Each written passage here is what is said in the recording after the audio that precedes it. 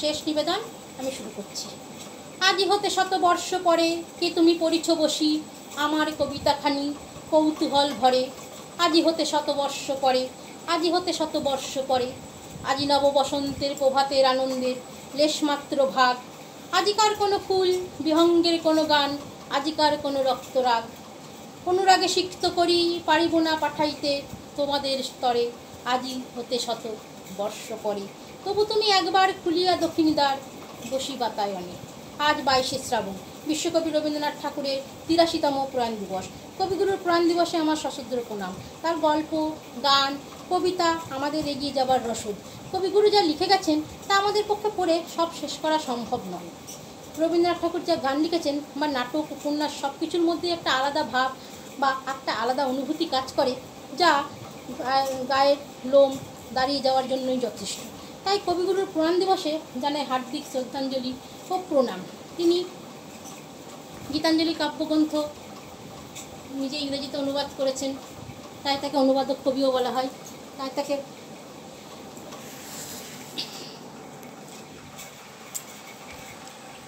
দার্শনিকও বলা হয়। আজ বাইশে শ্রাবণ। আজ বাইশে শ্রাবণ। বিষণ্ণ গধূলি বেলায় খুশি। রবীন্দ্র অঞ্জলির কিরণ। আজ বাইশে শ্রাবণ মানবতার আঙিনায় দেখি অমানবিকতার আস্ফালন। আজ বাইশে শ্রাবণ রবীন্দ্র রাগিনীর মাঝে অনুভব করি আত্মসংবরণ। আজ বাইশে শ্রাবণ হাজার দুঃখ পরিতাপের দহনেও বুকে জাগে রবীন্দ্র চিন্তন। আজ বাইশে শ্রাবণ জীবন চলে সময়ের ধারায়। আজ সত্যের দিশা দেখায় রবীন্দ্র দর্শন। এই বাইশে শ্রাবণ কবির পুরাণ দিবসে আমার এক বন্ধু শ্রীযুক্ত অমিত ঘোষ একটি কবিতা লিখেছে তার নিজের লেখা। সেই লেখা আমি আপনার সামনে পড়ে তারপরে শেষ করব। তোমারও অসীমে, কলমে অমিত ঘোষ।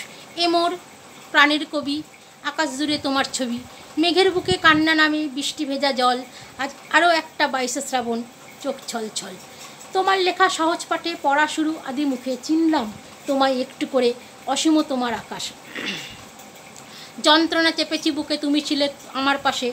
গানের সুরে হারিয়ে গিয়ে প্রাণ মেখেছি সারা গায়ে। আজ তুমি আকাশে বাতাসে মিশে গা ছুঁয়ে যায় মৃদু হাওয়া রবির গন্ধ মেখে। গাছের পাতায় গাছের শাখায় তোমার স্পর্শ আজও। নদীর ধ্বনি বলছে কানে, আজও তুমি আছো। কত অজানার জানাইলে তুমি, কত ঘরে দিলে ঠাই। দূরকে করিলে নিকট বন্ধু, পরকে করিলে ভাই। প্রণাম ঠাকুর। আজ সেই বাইশে শ্রাবণ বাঙালি হারিয়েছিল তার সত্তাকে, বাংলা হারিয়েছিল তার প্রাণকে, বিশ্ব হারিয়েছিল এক মানবাদী নোবেলজয়ী সব্রব্রহ্মকে।